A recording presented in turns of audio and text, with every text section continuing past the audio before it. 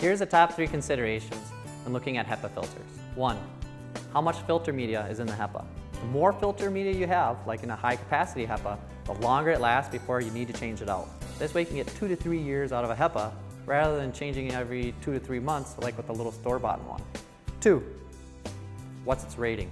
Shooting for a 99.97 or a 99.99% rating at 0.3 microns is really good, and that's what you should aim for. Three, does it have a pre-filter ahead of it to help extend the life of the HEPA? The pre-filter of a MERV 7 or MERV 8 will help capture all the large dust particles, so the HEPA filter can focus on capturing the viruses, bacteria, and all the small stuff that typical filters can't catch. Those are the top three considerations to look for in a HEPA filter. Learn more at iso-aire.com and other technologies like bipolar ionization and UVC.